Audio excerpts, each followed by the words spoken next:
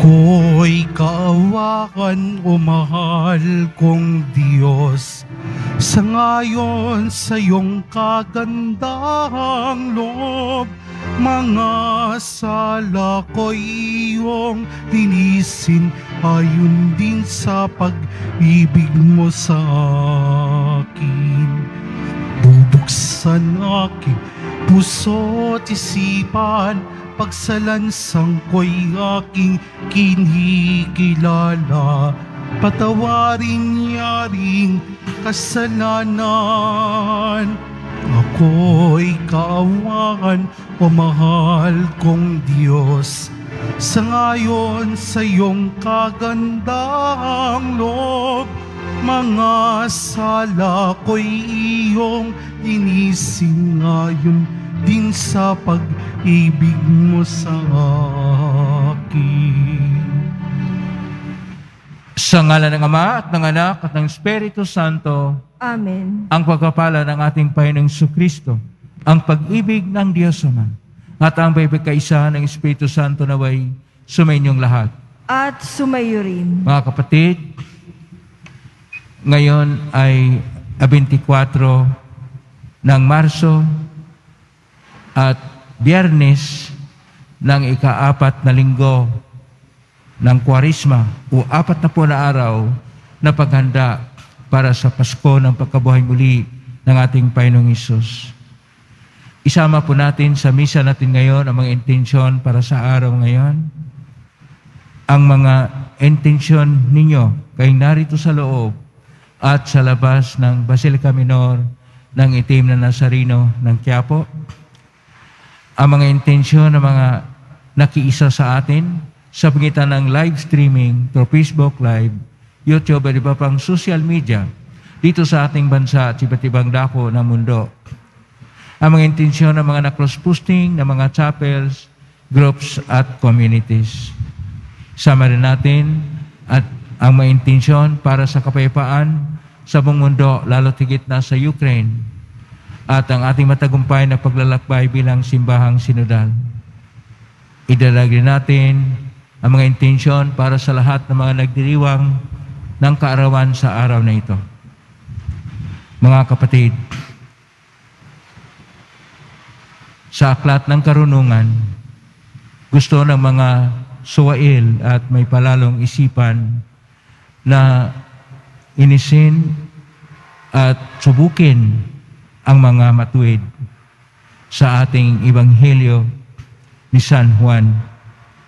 Ang ating Panginoon ay hindi gaanong tinatanggap dahil siya'y kilala daw ng mga tao na hindi naman nakakilala sa Kanya kasi mulat sa Paul, hindi nakakilala ng Diyos na nagpapadala sa kanila.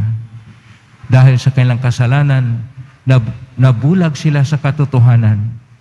Tayo rin kuminsan ay nabulag sa ating mga pangsarili na paningin. Ang tawag doon, bias. O dili kaya sa ating karupukan at kahinaan tayo nagkasala. Kaya dumulog tayo sa maing Panginoong nagpapatawad ng lubos. Sinugong tagapagpagaling sa mga nagsisisi, Panginoon, kaawaan mo kami. Panginoon, kaawaan mo kami. Dumating na tagapag-anyayang mga makasalanan ay magsisi, Kristo, kaawaan mo kami. Kristo, kaawaan mo kami. Nakaluklok ka sa kanan ng Diyos Ama para ipamagitan kami. Panginoon, kaawaan mo kami. Panginoon, kaawaan mo kami. Kaawaan tayo ng makapangyarihang Diyos. Patawarin tayo sa ating mga kasalanan at patnubayin tayo sa buhay na walang hanggan. Amen. Manalangin tayo. Ama naming makapangyarihan, ipinaglalaan mo kami ng kaukulang tulong na sa aming kahinaan ay iyong itinutugon. Ang iyong kaloob na kapagpatawad ng mga kasalanan ay makamtanawa namin ng buong kaligayahan sa pagtanggap namin ito. Kami naway makapamuhay ayon sa inasahan mo. Sa pangitan ni Kristo, kasama ng Espiritu Santo magpasa walang hanggan. Amen. Magsiupo muna po ang lahat. Pagbasa mula sa aklat ng karunungan. Sinabi ng masasama, Tambangan natin ang mga taong matuwid, pagkat hadlang sila sa ating mga balak. Ipinamumukha nila sa atin ang pagsuway sa kautusan at sinasabing tayo'y nagkasala laban sa ating kaugalian. Ipinamamarali nilang nakikilala nila ang Diyos at sinasabing sila'y anak ng Panginoon. Sila ang nagbibigay sa atin ng mga problema. Makita lang natin sila'y balisa na tayo pagkat kaiba ang gawain nila at pamumuhay.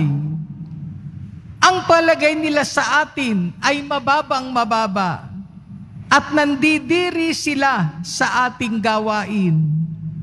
Sinasabi nilang kaligayahan ang wakas ng matuwid at ipinagmamagaling na sila'y anak ng Diyos. Tingnan natin kung ang salita nila'y magkakatotoo kung ano ang mangyayari sa kanila pagkamatay nila. Kung ang mga matuwid ay anak nga ng Diyos, sila ay tutulungan niya at ililigtas sa mga kaaway. Subukin nating silang dustain at pahirapan upang malaman natin kung hanggang saan ang kanilang kagandahang asal at kung hanggang kailan sila makatatagal. Subukin nating ibingit sila sa kamatayan. Yamang ang sabi nila ay iingatan sila ng Diyos.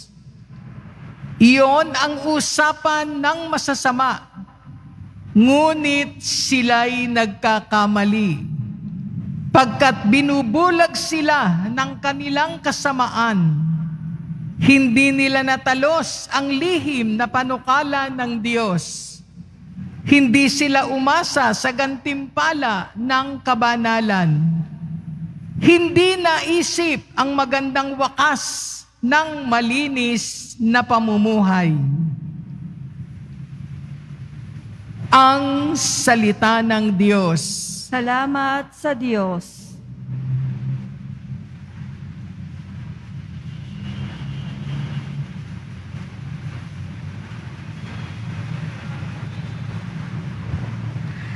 Sa Diyos, hindi mabibigo ang mga nasisiphayo. Sa Diyos, hindi mabibigo ang mga nasisiphayo. Nililipol ng Diyos yaong masasama hanggang sa mapawi sa isip ng madla.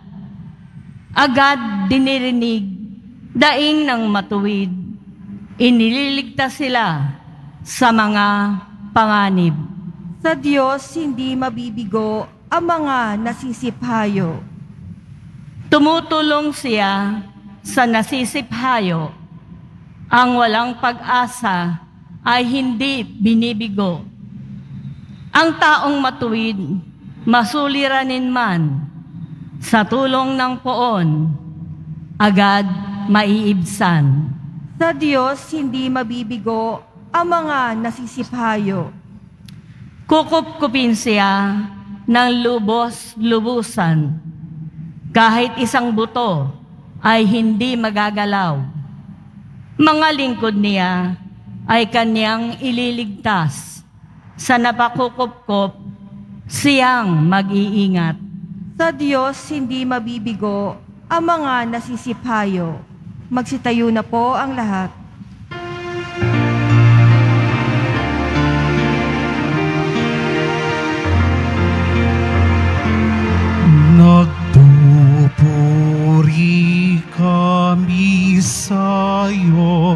Panginoong Yesu Kristo.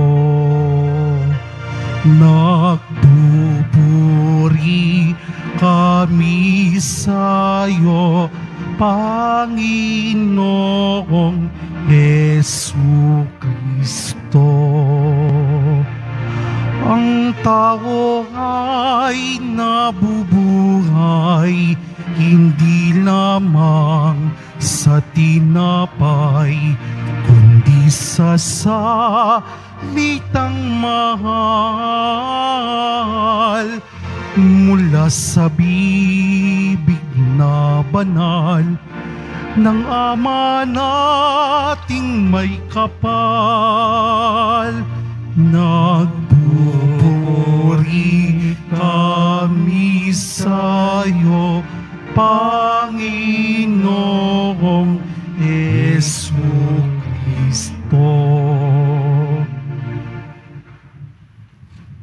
Sumainyo ang Panginoon. At sumayo rin. Ang mabuting balita ng Panginoon ayon kay San Juan. Papuri sa iyo, Panginoon. Noong panahong iyon, nilibot ni Jesus ang Galilea. Iniwasan niya ang Hudiya sapagkat ibig siyang patayin ng mga Hudyo roon. Nalapit na ang pista ng mga tulda, isang pista ng mga Hudyo. Pagkaalis ng kanyang mga kapatid, si Jesus ay pumunta rin sa pista, ngunit hindi hayagan.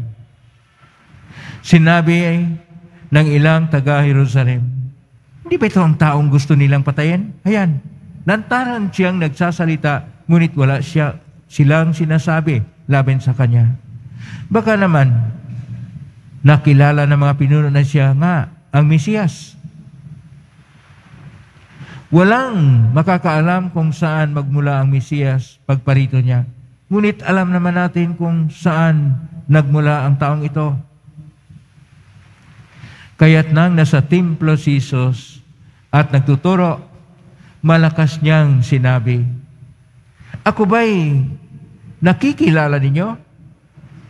Alam ba ninyo kung saan ako nagmula? Hindi ako naparito sa ganang aking lamang. Ang totoo, ang siyang nagsugo sa akin, ngunit hindi ninyo siya nakikilala. Nakikilala ko siya sapagkat ako'y mula sa Kanya at siya ang nagsugo sa akin. Tinangka nilang dakpin siya, ngulit walang nangahas sapagkat hindi pa niya oras. Ang mabuting balita ng Panginoon. Pinupuri ka namin, Panginoong Heso Kristo. Magsiupo muna po ang lahat. Isang mapagpalang araw po sa inyong lahat. Purihin po natin ang ating pong Isus Nazareno. Nasa biyernes na naman tayo, kaya magsiksika na naman tayo at pipilitin ang ating sarili na makalapit sa ating dambana ng pong Isus Nazareno. Ang itim na Nazareno na siyang nagbibigay sa atin hindi lang ng inspirasyon, hindi lang ng mga biyaya, hindi lang ng panampalataya na siyang buhay na buhay, bagkos isang personal na kaibigan para sa ating lahat.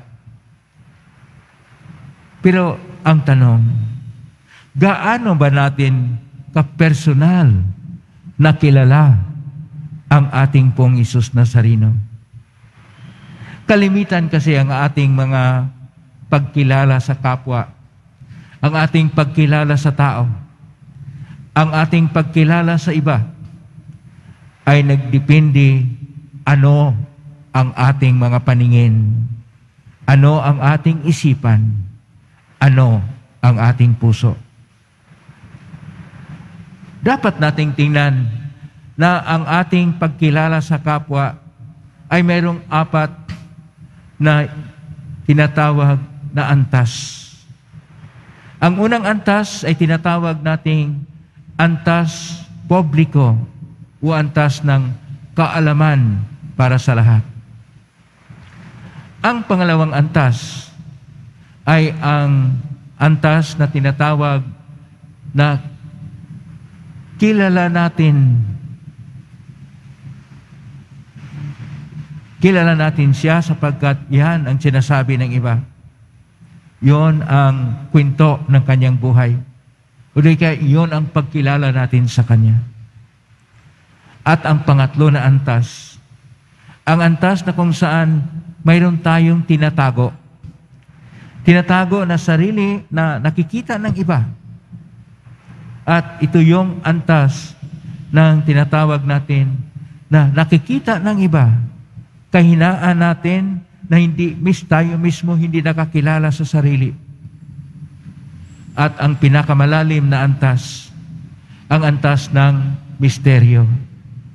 Ang misteryo na kung saan Diyos lang ang nakakaalam. At dito nating tingnan ang ating mga pagbasa. Ang ating unang pagbasa ay ula sa Aklat ng Karunungan, Kapitulo 2, versikulo 1 at versikulo 12 hanggang 22, na itong mga tao na sila ay makapangyarihan, sila ay marurunong, sila ay kung ano-anong mga nasa kanilang sarili, ay nagmamarunong at dahil dito, sila ay nagtuturing na sila lang ang dapat mabuhay. At yung iba na nakakainis sa kanilang buhay na tinuturing nilang matuwid ay ayaw nila sapagkat kung mayroong matuwid na tao, ang kanilang mga ginagawa sa palalo nilang mga isip ay ginagawa nila na mga panglalamang at iba pang mga gawing masama ay lalong malantad.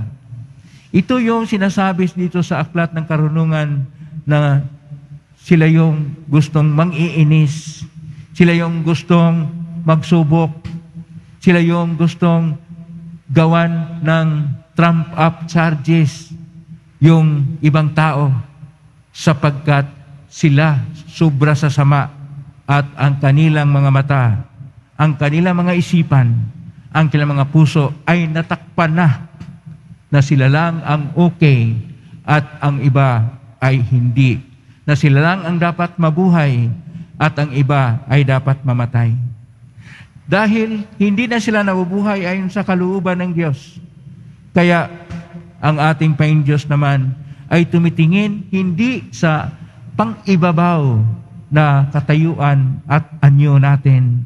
Bagkos ang Diyos ay tumitingin sa ating mga puso.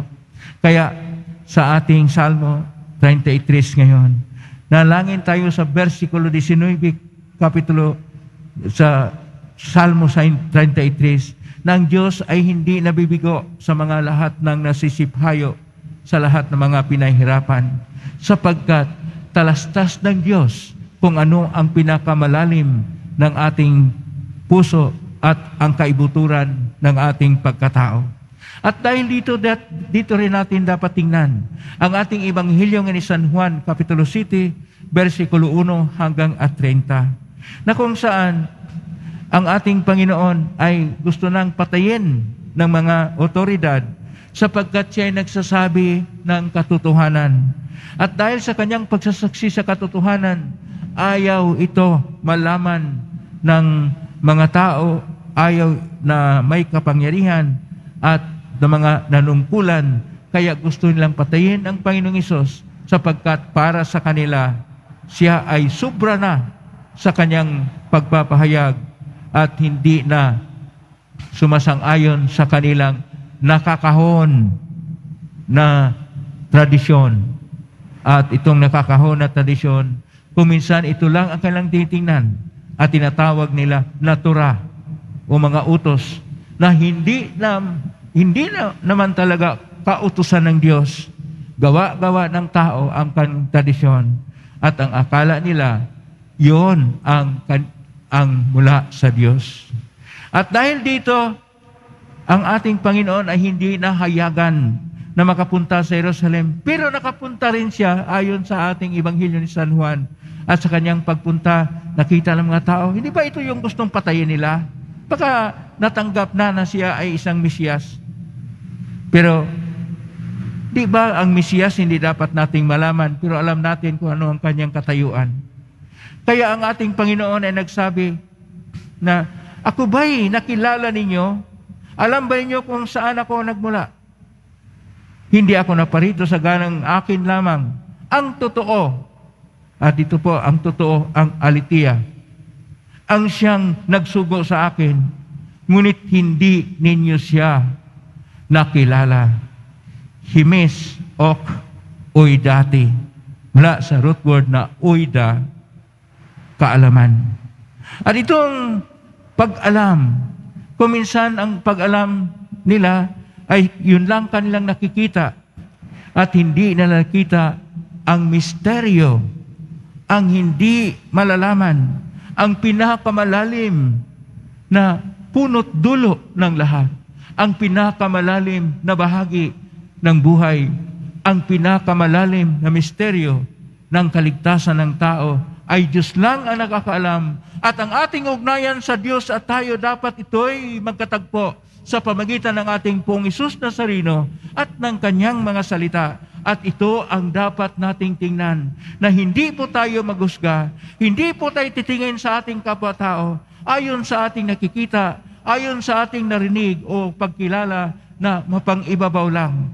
Baka mauwi sa marites o dili kaya kung ano-anong mga pag panghuhula o pangparatang na ating ginagawa sa ating kapwa. Hindi po natin malaman ang pinakailaliman ng tao. Maski kayo mga magulang, mayroon kayong mga anak.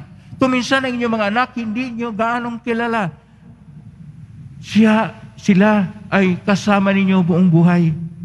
Pero mayroon pang pagkukulang sa pagkilala. Ano pa kaya ang inyong kapwa na napakalayo sa inyo? Ano pa kaya ang Diyos na hindi inyo nakikita? At dahil dito dapat mo nating tingnan, Diyos lang ang dapat nating tingnan na siyang batayan ng ating pagkaalam sa ating kapwa, lalo higit na sa ating puong Jesus Nazareno at kung ano ang pinapahayag ng mga may malalim na karanasan sa Kanya. Ito ang siyang magabay sa atin paano ang ating pagkilala sa ating Panginoong Isus. At kung kilalanin pa natin siya na isang personal na kaibigan, hindi lang sa mga doktrina, hindi lang sa mga pagtuturo, hindi lang sa pagkilala sa ating eksperyensya, ngunit dito mismo sa ating mga puso, sa ibuturan ng ating pagkatao, kilalang kilala natin siya. At nang nagsasalita siya sa pamagitan ng salita ng Diyos, sa unang bahagi ng liturhiya ng salita sa ating misa. At nang tinanggap natin siya sa panahon ng komunyon na sinasabi, katawan ni Kristo at sinasabi nating amen, siya na nga at sa ating mga panalangin, siya ang ating nadama, siya na Diyos na hindi nakikita ay damang-dama sa ating kalooban. Hindi lang sa nakikita nating replika, siya talaga ay buhay na buhay sapagkat ang kanyang presensya ay ating damang-dama. Ito ang pagkilala ng malaliman sa Diyos. Naging bahagi na tayo sa misteryo na ang pag-alam nito ay dahil sa pananalig at panampalataya. Kaya nga sinasabi ni San Agustin, mananalig ako upang malalaman ko at makilala ang Diyos. At nang nakilala ko na siya, lalo pang lumalalim ang pananalig. Ito ang dapat nating tingnan. Mananalig tayo sa Diyos at makikilala natin siya at kilanin pa sa kaibuturan ng ating mga puso.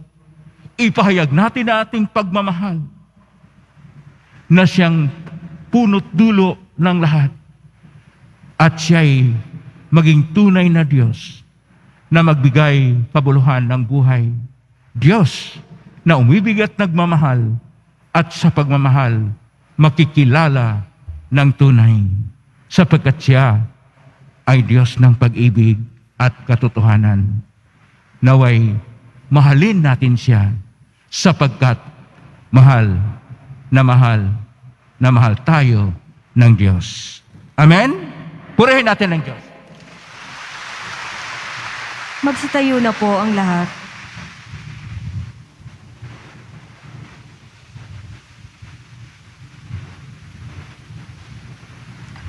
Minamahal ko mga kapatid sa ating paglalakbay sa buhay, idalangin natin na pagkalooban tayo ng tapang na magsalita at magsikap para sa katotohanan at ating pong itutugon, Panginoon, palakasin mo kami sa iyong katotohanan.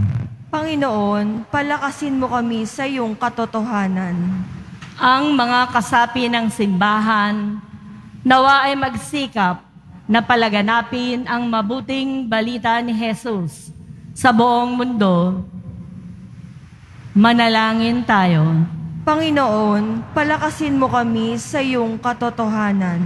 Sa pamamagitan ng pagninilay sa pagpapakasakit ni Jesus sa krus, ang mga taong hindi sumasampalataya, nawa ay manampalataya. Manalangin tayo. Panginoon, palakasin mo kami sa iyong katotohanan. Tayo nawa ay magkaroon ng kapayapaan sa isa't isa. Manalangin tayo. Panginoon, palakasin mo kami sa iyong katotohanan. Ang mga may sakit at mga dukha, nawa ay maranasan ang mapagpagaling at mapagmahal na presensya ni Kristo. Manalangin tayo. Panginoon, palakasin mo kami sa iyong katotohanan. Sa tahimik, idulog natin sa Panginoon ang ating mga sariling kahilingan. Ama naming nasa langit, isinugo mo ang iyong anak upang magpakasakit para sa amin. Loobin mo na sa pamagitan ng aming pananampalataya sa Kanya. Hing namin ito sa magitan ni Kristo na aming Panginoon. Amen. Magsiupo muna po ang lahat.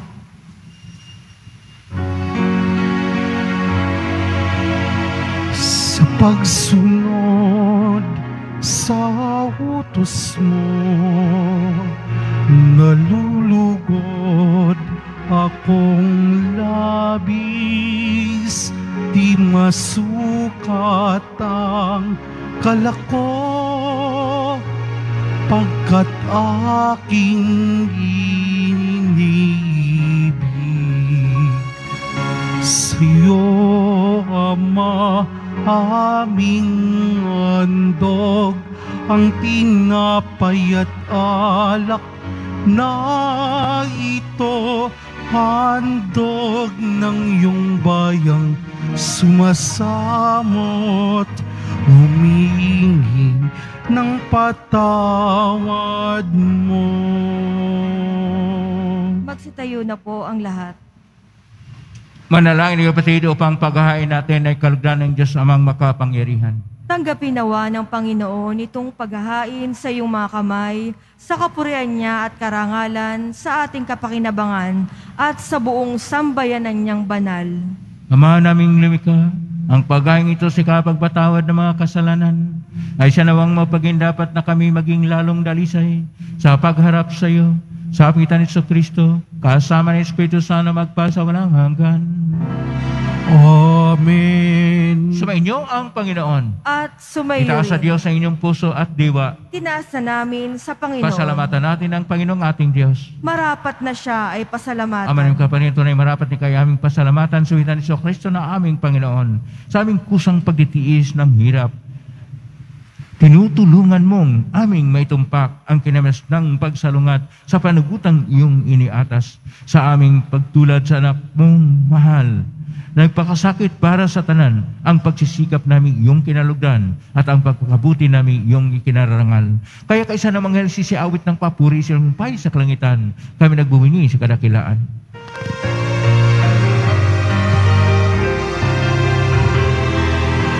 Santo, Santo, Santo, Panginoong Diyos ng mga hukbo, napupuno ang langit at lupa ng kadakilaan mo. Hosana, Hosana, Hosana sa kaitaasan. Hosana, Hosana, Hosana sa kaitaasan. Di nagpala ang naparirito sa ngalan ng Panginoon. Hosana, Hosana, Hosana sa kaitaasan. Hosana, Hosana, Hosana sa kaitaasan. Magsilod po ang lahat. Ama ng banal, ikaw ang bukal ng tanang kabanalan, kasmitan ng Espiritong banal, ang makalob nito upang para sa amin, maging katawan at dugo ng aming Panginoong Kristo. Bago niya pinagtisang ko sang loob na maging handog, hinawakan niya ang tinapay, pinasalamatan kanya, pinaghati-hati niya yon, iniabot sa kanyang malagad at sinabi, Tanggapin ninyong lahat ito at kanin. Ito ang aking katawan na ihandog para sa inyo.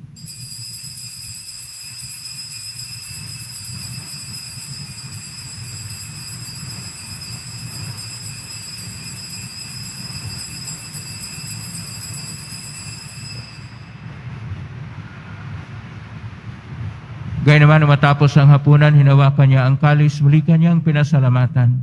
Inabot niya ang kalis sa kanyang malagad at sinabi, Tanggapin ninyong lahat ito at inumin. Ito ang kalis ng aking dugo ng bago at walang tipan.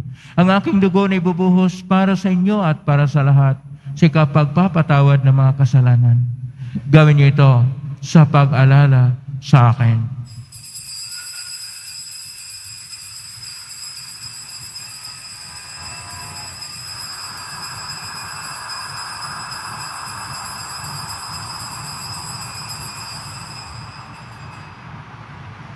Magsitayo na po ang lahat. Ang misteryo ng pananampalataya. Si Kristo'y namatay, si Kristo'y nabuhay, si Kristo'y babalik sa wakas ng panahon. Ang mga ginagawa namin ngayon ang pag-alala sa pagkamatay at muling pagkabuhay ng anak ay naalay namin sa iyo. Ang tinapay nagbibigay buhay at ang kalis na nagkakaloob ng kaligtasan. Kami nagpapasalamat at manarapat na tumayo sa harap mo para maglingkod sa iyo. Isinasama namin kami magsasalo-salo sa katawan at dugo ni Kristo ay mabuklod sa pagkaisa sa pamigitan ng Espiritu Santo. Ang malingapin simbahang laganap sa buong daigdig. Pususin kami sa pag-ibig kay San Francisco na aming Papa at niyusin na aming Obispo at ng Tanang Kaparian. Alalahanin mo rin mga kapatid naming naimlay may pag-asang sila muling mabuhay ganin lahat ng mga pumanaw. Kaawaan mo sila at patuloyin sa iyong kalimanagan. Kawaan mo dapatin kaming lahat na makasalo siyang buhay na walang wakas kay San Malabirhin Maria, Ina ng Diyos, ng kabiyak ng puso niyang San Jose, kay San mga apostol, ni San Juan Bautista, ni San Roque, ni San Lucio Reyes, ni San Pedro Kalungsod at ng lahat ng mga banal na namuhay dito sa daigdig ng kalugod-lugod sa iyo. May pagdiwang nawa namin ang pagpupuri sa karangal mo sa pamagitan ng anak na aming Panginoong Yeso Kristo.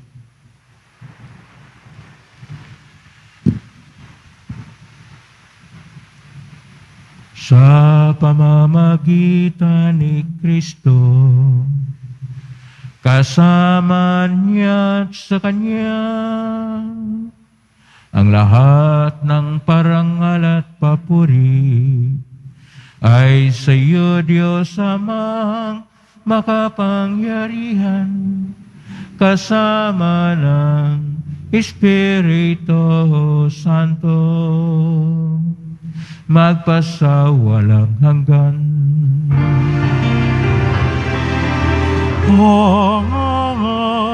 Amen. Amen.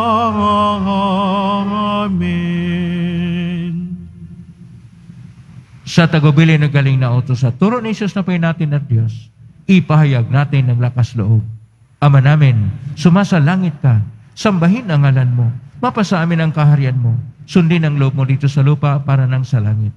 Bigyan mo kami ng aming kakanin sa araw-araw at patawarin kami sa aming mga sala para nang patawad namin sa nagkakasala sa amin at huwag mo kami ipahintulot sa tukso at iadya mo kami sa lahat ng masama. Niling namin kami adya sa lahat ng masama pagkalooban ng kapayapaan araw-araw. Iligtas sa kasalanan at sa lahat ng kapahamakan, samantalang aming pinanabikan ang dakilang araw ng pagpapahayag ng tagapagligtas naming si Iso Kristo. Sapagkat iyo ang kaharian at ang kapangyarihan at ang kapurihan magpakailanman. Amen. Panginoong Iso Kristo, sinabi mo sa mga apostol, kapayapaan ang iniiwan ko sa inyo, ang aking kapayapaan ibinibigay ko sa inyo. Tunghen mga aming panampalataya at huwag ang aming pagkakasala. Pagkalooban mo kami ng kapayapaan at pagkakaisa yun siyang kalooban kasama ng Espiritu Santo, magpa sa walang hanggan. Amen. Ang kapayapaan ng Panginoon ay laging sumainyo. At sumayo rin. Magbigay kayo ng kapayapaan sa isa't isa. Kapayapaan sa inyo. Kordero ng Diyos na nag-aalis sa mga kasalanan ng sanlibutan, maawa ka sa amin. Kordero ng Diyos na nag-aalis sa mga kasalanan ng sanlibutan, maawa ka sa amin. Kordero ng Diyos na nag-aalis ng mga kasalanan ng sanlibutan, ipagkaloob mo sa amin ang kapayapaan. Magsilod po ang lahat. Ito ang kordero ng Diyos. Ito ang nag-aalis na makasalanan ng sanlibutan. Mapalad ang mga inaanyayahan sa piging ng kordero. Panginoon, hindi ako karapat-dapat na magpatuloy sa iyo, ngunit sa isang salita mo lamang ay gagaling na ako. Katawan ni Kristo. Amen.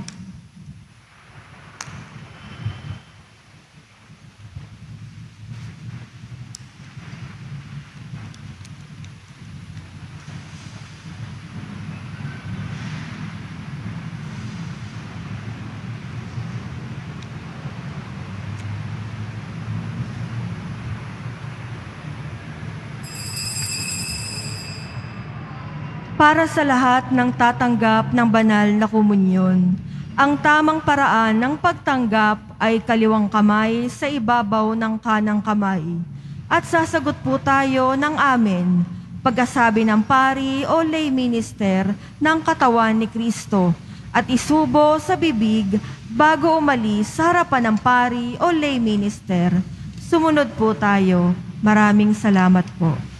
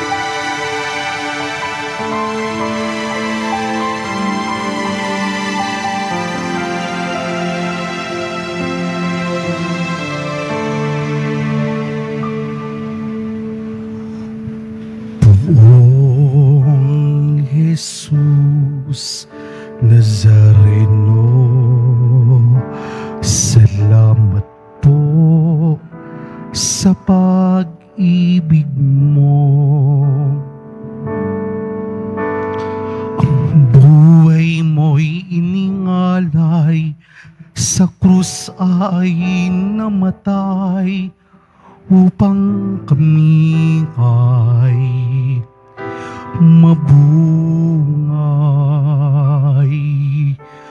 Buong Jesus Nazareno Patawad po sa mga kasalanan ko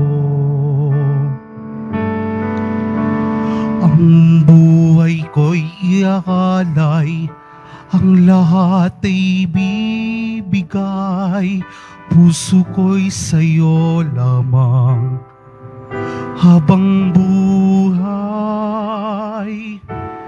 Buong Jesus Nazareno Kay buti mo sa hirap at dusa ika'y kasama ko. Ang samo ko't dasal sana'y pakinggan mo. Nang mapawi ng mga paghihirap ko. Buong Jesus Nazareno Salamat po. Ang iyong pagmamahal ay na darama ko. Ngayon at magpakailanman ika'y pupurihin ko. Mahal na pong Jesus Nazareno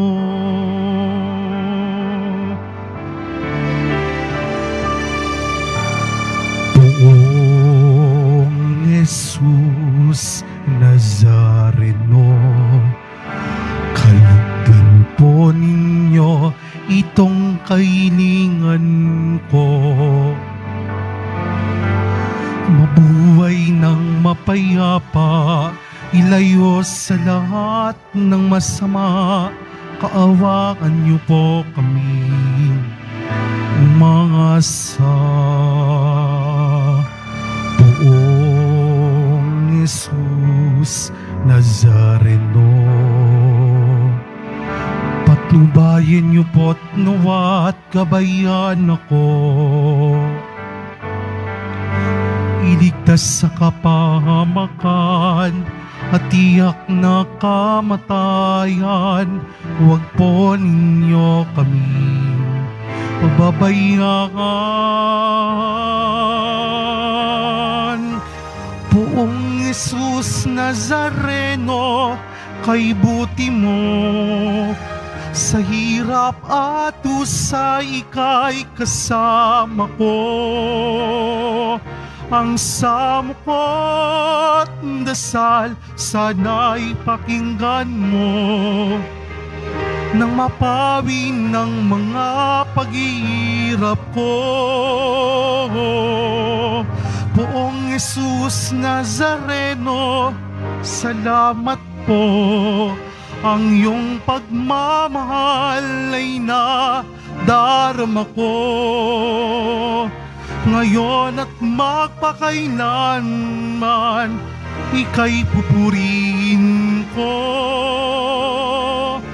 Mahal na poong Jesus Nazareno.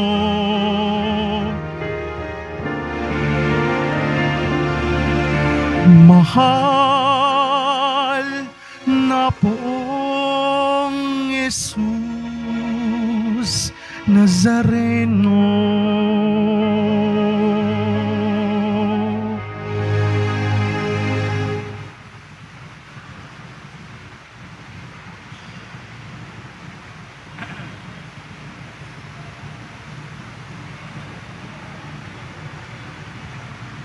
Manalangin tayo.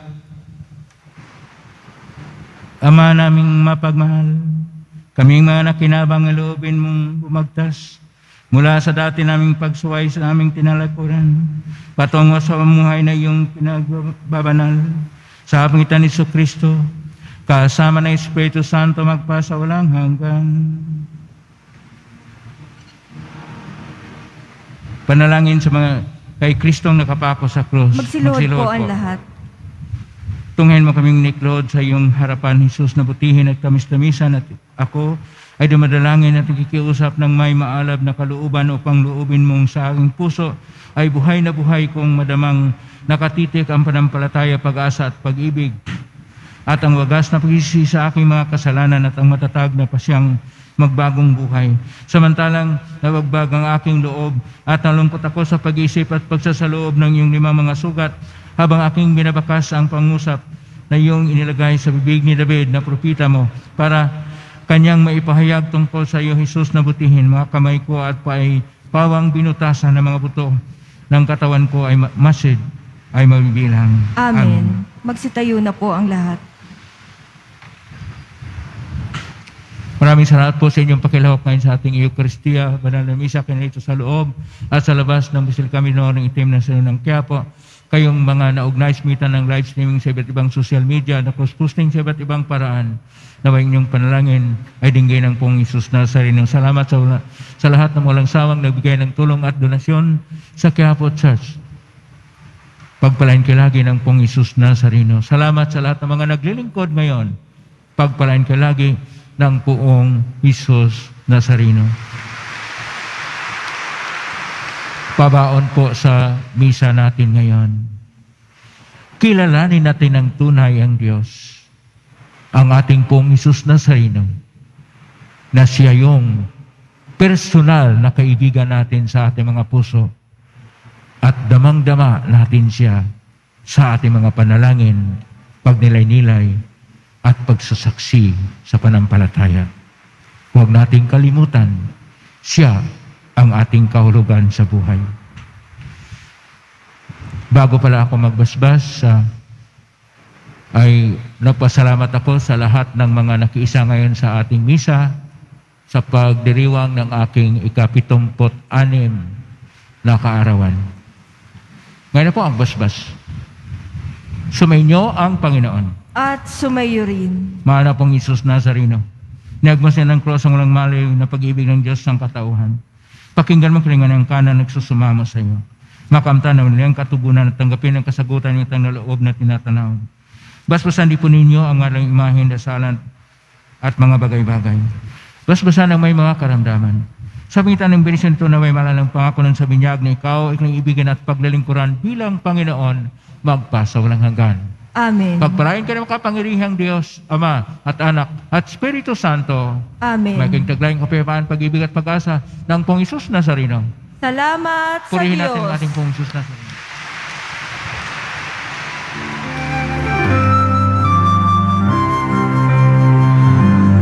Nuestro Padre Jesus Nazareno, sinasamba ka namin.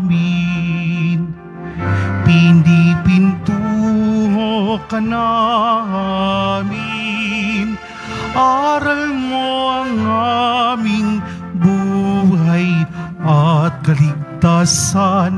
Nuestro Padre Jesus Nazareno, iligtas mo kami sa kasalanan.